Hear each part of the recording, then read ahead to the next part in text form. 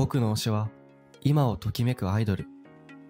数ヶ月前までは配信者だったことをこの会場にいるどれだけの人が知ってるだろうか。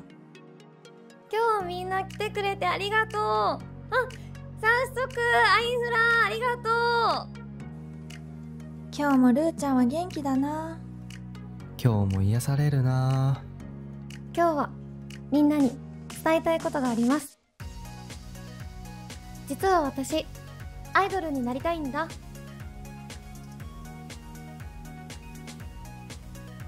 この子の夢を僕が。私が応援したい。元気をもらえる場所。阿波